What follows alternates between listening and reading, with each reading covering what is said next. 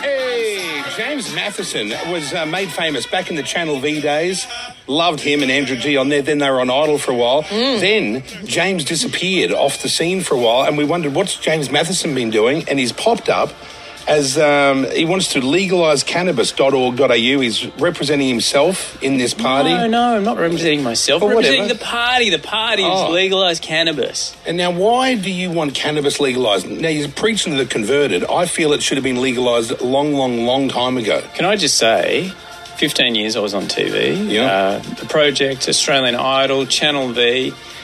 In that time, not once did I come on the Kyle and Jackie O show. Didn't you? Yeah. Did but you? the moment, the moment I'm involved with the legalised cannabis party, Kyle is like, get him on! Yeah. Get him on. Get him in Where's Jay? Get because I agree with this. The reason I went to live in America all those years ago, and I spent half the year over there, was because of their lax rules on uh, marijuana. I love chuffing. I love it, and it's. I don't drink, but I love a chuff.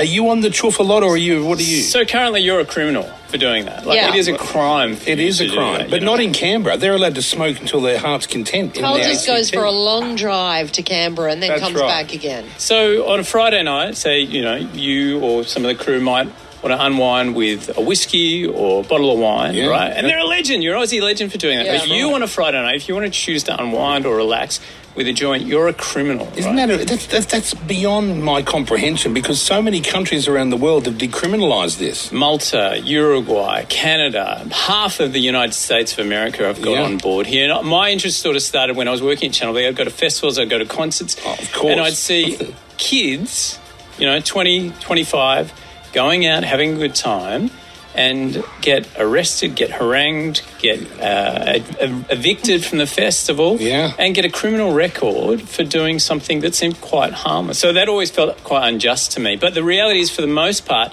recently I've seen people use it for medicinal use, and It does work really well, and, and a lot of even oils and and uh, and different concoctions from the plant. For MS, for Yeah. epilepsy, for chronic pain, So for what's the big PTSD. why, why is it still illegal? If you're a politician, right, Yeah. and you know that this is unjust and it's a waste of taxpayer dollars and it creates a black market that only benefits criminal syndicates, what are you going to do? You're going to say, yeah, we're going to legalize cannabis. Well, what happens to you? Immediately, your political opponent goes, he's soft on drugs. Right. He wants So- kids smoking pot. So it's it's they're nervous. So uh, you think a lot of people are for this, but they're scared to commit? 100%. Like 40% of Australians have smoked cannabis at some stage in it? their life. and the rest so- are too paranoid to write down the truth. and so that's millions of Australians who have committed, in inverted commas, a crime, right? Yeah. But we don't have the political will to do it because the optics aren't great for it. But if we look at the research around the world, the sky hasn't fallen in in Colorado, in, in Canada, No. and in Mexico. I think in California, they actually when they, they got rid of their state debt because they started to tax it rather than the money going to criminals. So at the moment, the black market is worth somewhere in between 15 and 20 billion dollars. And that money is going That's a lot of weed that's been smoked out there. criminal organisations, but you tax it, you regulate it, you control it. Yeah. It's not a free for all, you know. You should be able to go down and buy from Chemist Warehouse. What do you mean it's not a free for all? I'm Oh, no, saying. no, You no. can't go to Chemist Warehouse. You can't now, but to- should you be able to? No, No, you go to no. a dispensary and you've got to make sure you show your ID when you go inside that room. You've got to make sure your details are logged. There's plain packaging. There's no marketing involved. We're not pushing it, but we do that with alcohol. Alcohol is more dangerous, more lethal, Sure. more addictive, and more, more, toxic, violent, more, violent. You never see a stoner punching on. Never. They couldn't be bothered. Right? So it is less harmful than these compounds that we know have harm, alcohol and tobacco. Yeah. Yet that's the illegal one, right? And so Isn't we're saying weird? let's have regulation and control. We're not going to push it anywhere. But through responsible use, we can cut down this black market and we can stop ordinary consumers being criminals. What about the amount of money the state government, let's say just for New South Wales, spend on the police to try and stamp this out? Shouldn't they be spending that money elsewhere, getting real criminals off the street? Yeah, so hundreds of million dollars every year on Wow. the justice system, on police, on the courts. Jails fill up with people. Your tax dollars are being used to prosecute people consuming something that is, you know, for the most part, quite harmless. Is is less harmful than tobacco. and it was less the, harmful the than plant made from, from God. And God's made So the plant. what happens? let's say it became legal. Yeah. and uh, obviously, you know, drinking's legal, but you can't drink and drive. Yeah. Uh, With with smoking weed, it, it stays in your system for quite some time. So if they did any kind of drug testing on you, how do you regulate that side of things? So, Trust. It's a, it's a trust system. I Right, feel a trust thing, don't you, uh, in Tasmania, we've sort of cracked that, you know, and Yeah. jurisdictions around the world have done that. what have they done down there? So, the rule is impairment. If you are currently driving, the officer thinks you're impaired. Yep. You know, they can take a test. If there's cannabis in your system, then there's a problem. If you're not impaired, like if you are able to follow the basic instructions of the officer, you know, Right. then that's Yeah, fine. almost like a. So it's like those roadside, tests you'd yeah. see in LA where you can do a breathalyzer or you can do Half hey, of those point- things. points yeah, of the but I can't do your nose. half those stand on one leg things at the best of Yeah, but times. that's That's your- because that's you're your stoned all the Oh, time. no, well, only in the right countries. But on that, Jackie, the reality is right at the moment, medicinal cannabis is legal, right? So you Uh-huh. can get a prescription Yep. for it, then you can take it. But then if you need to refill the prescription, you can't drive to the chemist for another week Yeah. if it's in your system. So at least, at the very least, what we want to do at the legalized cannabis party is make sure there is an exemption for people who have medicinal cannabis prescriptions. Well, that's right? me because I'm a very sick What's person. your um? uh, Why do you Yeah, need what's your it? ailment? Oh, I'd have to go back into my notes. Anxiety. Yeah, that's it. Bad and my, back. migraines and, you know, mm. being Mm. grossly mm. overweight and mm. just a me- mental case. But the thing is, this is what's happening at the moment anyway. You know, recreational users are sort of abusing the medicinal system to try and That's get not the- what I'm doing, James. I'm a very sick man.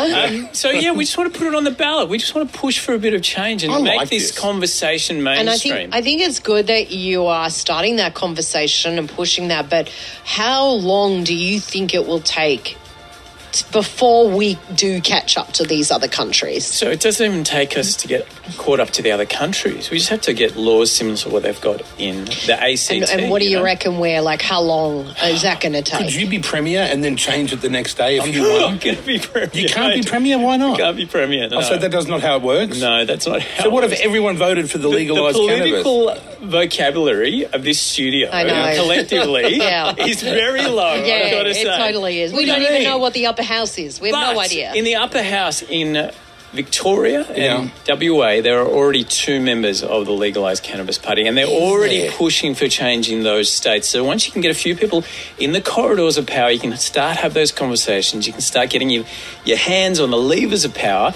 and create a bit of change. You know, at I the like moment, this. you can advocate like we've been doing from the outside, Yeah. but they don't listen to you. So we Did you just bring any sample? Like instead of handing out um, like flyers, do you hand out like joints, or what? What is the plan? What's the plan here? Um, no, that would be illegal. That's Yeah, illegal. We can at this change point. the law so we can the do law. that. You know, I wouldn't be surprised if we. Oh, I brought in the sniffer dog who's waiting outside. that it would head straight to your jeans. Yeah, it would. It would head straight to my because you know I haven't watched these jeans since I was last in Canberra. there you go. Thank see? you, Jackie. So we, we don't even have to think that far apart. We do, I don't think we have to think, oh, make it like Canada. You know, we can start by doing. Did what Canada have they another region- decriminalised everything and all drugs in Canada? Is it? I can't remember, but I think there's a lot of drugs that have been decriminalised. Uh, cannabis has been legalised there, so you can get it from a dispensary. And I you think don't they're even have to be on a prescription. You, if you just want to have a chuff, you go and get If it. If you're over 18, It's like buying a packet of cigarettes. Right. That's right, exactly. But even more restrictive than that. You know, you can buy a packet of cigarettes, which will kill you from the service station.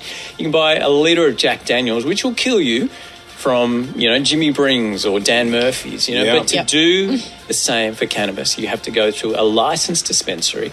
You have to make sure your ID is shown. You have to have your details recorded. So it's super restrictive. I'm going to start my own Uber Eats for cannabis. Oh, I was just about to say Kyle Brings. It's oh. gonna, I'm going to do a whole weed delivery Oh, service. no, I got you. Copyright Jackie Henderson. Kyle and Jackie Bring. There you go. I'll go in on it we'll with have you. 50-50. So you'll go into your polling booth. You'll get the little one, which is the House of Representatives. That's the little card, you know, your number one. Oh, tag, we don't know about all that shit. And then you get the big one, which is like, in essence, for the Senate, for the upper house, and you just put one legalised cannabis above the line. Yeah. Right, well, I like Labor. I'm normally a Liberal guy, but now this time I like this Labor guy because he's got a lot of great ideas. Uh, uh, So, but what happens there? If I like Labor, but I also want to get the chuffers on board, what do I do? How do I fill do the ballot both. out? You can do both. In your lower house one, you go Labor as your local candidate, and then above the line, you go one legalised cannabis, and then two Labor. Okay, right. This Well, is how optional preferential voting works. You know, oh you my know God, all the there is lingo and so everything. much education. I to do know. people, Where do you it? even start with Well, us? Yeah, sadly. Well, you We've got, got more chance to of getting a couple of stoners on board from this show. I think they all listen to this show. Um, but you know, we only need you know four, five, six percent of people, and we know that already there's about fifteen percent of people across the state. Who Are you use getting a big bus, like a big uh, bong bus together? Or What, what, have you got any plans to advertise? Yeah, the cannabis. We're going to try and get I love the cannabis. I love it. take that to regional Australia, and you know, sort of advocate also for the people who at the moment people say, "Oh, medicinal cannabis is allowed." You know, what do we need to change the laws? The reality is, if you have a chronic disease like PTSD or chronic pain or fibromyalgia, then you need to spend probably between three and five hundred dollars a month, a month, on your cannabis prescription That's for too something expensive. That you could be growing for free In your yard. in your yard to treat your own Oh, chronic pain. and you know what? I've got mm. 150 acres of farmland at the Southern Highlands, some of the best agricultural ground in the country. Imagine the amount of bloody bush I could grow down there. Mm, okay, well, there would be limits for you oh. specifically, but it seems crazy. Imagine you could, you know, cure- heal your ailment from something you grow in your garden, but the government says, no, no, no, no, no, you have to pay $500 a month for the very same thing. And we know it's safe and legal and effective for those people. Sure. Right? For their chronic pain. But if I take it because I want to unwind or I want to relax, Yeah. it's suddenly Illegal. not safe and effective. Yeah. that's The weird, same right? compound. It- the it- same it- compound. it It- can't that's be- insane. Yeah, that is right? crazy. So we go, oh yeah. So a doctor can prescribe it. Yes, we know it works. We know it's effective because you've got a bad back or you've got insomnia. Yes, Here my doctor up in Byron, wonderful doctor. So that's fine. And no but I doctors- take it for a different reason because I want to relax, unwind, Yeah. enjoy myself, And that's listen to a fine. record. And, and no doctor's prescribing alcohol or prescribing cigarettes, That's are they? true, Brooklyn. That's Exactly. true. Yeah, Exactly. yeah. He makes a good point. You should get him in your party. Oh, he's got a nose like that, though. People think he's lying all the time. you can't have a liar on board, even like the thought of being a liar. No, good luck, James. Yeah, Yeah. yeah. Well, I think that I think this is one of the things that most people think the law is nonsensical, right? We understand there should be change, but there's just not the political will or the ability to actually talk about it at a mature adult level. Because Yeah. everyone's like, ah, stoners and children. It's like Yeah. once Oh, this it's is a gateway drug and all that bullshit. Bullshit. You know why it's a you know why people say it's a gateway drug? Why? You know. Because if you have to buy it illegally, guess who you're buying from? a, a, a dodgy dealer. Yeah, and guess what else he's got access to? cocaine. They're also, and I don't like cocaine. I like the smell of it, but I don't like the. Uh, Drug dealers have access to all sorts of other stuff. If you've got a licensed, regulated distributor, That's what all they got? sell. That's all they've got. If they, they can't even spread the word about anything I else, told they'll Jackie lose their James. I told Jackie that in Los Angeles, I fly to LA. I go straight. The car picks me up. I drive straight to the dispensary before I even go home, Hmm. and I stock up on all the greatest new chuff. And there's a, like it's like the it's like the Apple iStore. There's all like Apple geniuses type of people in there, but they're weed geniuses. Hmm. And you just look at it all, and you go, "Oh, what what's that one? I want the Jamaican high. I want this."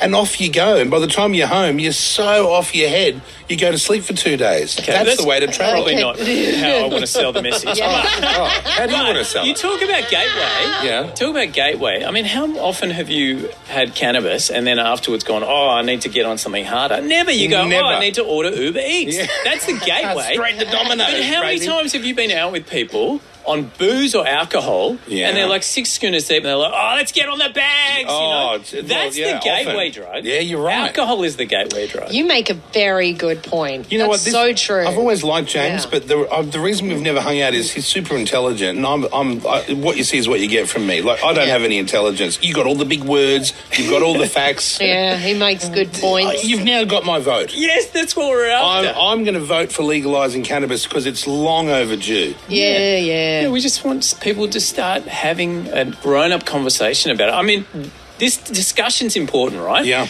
But also so is evidence. And look at the evidence around the world. And the evidence points to this can be consumed safely and responsibly, just like alcohol. And once it's legalized, here's the reality it gets boring. It's so boring that, you know, Oh, bring on the boredom, I say. people move on from it. Yeah. Like there's this stigma, there's this propaganda, you know, I there's agree. this scaremongering around it for so long. And Yeah. when, in it, in it, it's weird because the Americans, right? It it was also oh drugs, drugs, drugs, and now it's been legalized for so long.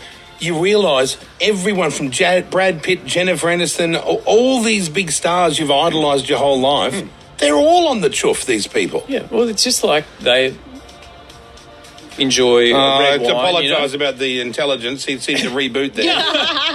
No, but you're talking about people who you know drink three or four times a week. Sure. Now, that doesn't impede their ability to succeed or have a family or have a successful career. You know, and you yourself are a great example. You know, you, you enjoy cannabis, but it hasn't affected your ability to have this multi.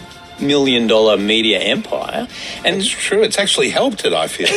Jackie, you should get on the chuff if you Yeah. want No, I know. don't do that, Jackie. haven't, you, haven't you gone down some sort of clean lifestyle? Isn't that what Yeah. you're doing now? Yep. Yeah. I'll Drinking. give it a break. It's been three weeks, in all honesty. I've got a book for you. I've got a book for you. You've You got to bring it. Yes, because you are. I think I read you're starting to meditate Yeah. as well. Oh my god. She stopped Once that you- because an ant bit her on the vagina flap um, when she was up on the mountain looking.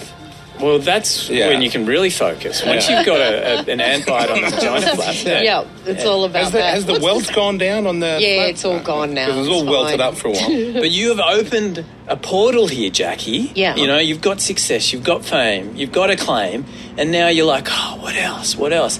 And you have got a pathway here to go, oh my God, there is something even more extraordinary than all of that. Yeah. The yeah. wacky Jackie Tobacco. No, Hey, that's not what I'm that's- talking about. I'm oh, talking oh. about like through meditation. Yes, you can go and access something that is Don't inside go of getting yourself. all What's Jesus this book? What's Hey? the book? Uh, it's You called can- The Untethered Soul.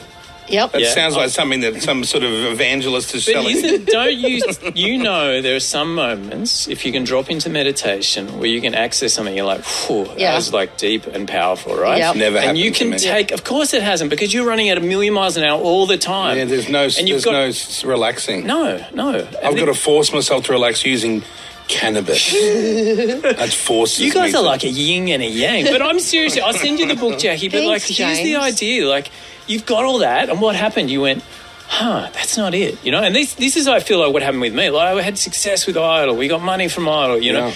We got all of this stuff and I was like, "Huh, that's not it. Yeah. It's not it. You know, you go, what next? What's next? And we're told that our whole lives. Oh, if you get fame, oh, if you get money, oh, if you get acclaim, Yeah. then you'll be happy. Then you'll be like, But yes, that's, that's I've got not it." the answer, No, is it's it? not the answer. Cannabis is the answer, is what you're saying, James. I'm saying No, that Jackie is like on the precipice, I think, of like diving deep into going, ah, there's actually something so divine and so extraordinary that is inside me at every And that's given moment. How many of these love- meditations love have that. you done, Jackie? Sounds like he's. Yeah, quite a lot. I love what you're saying, James. But you oh, know it's true because I'm into here's the thing: there's Yeah. one, there's one or two things happens, right?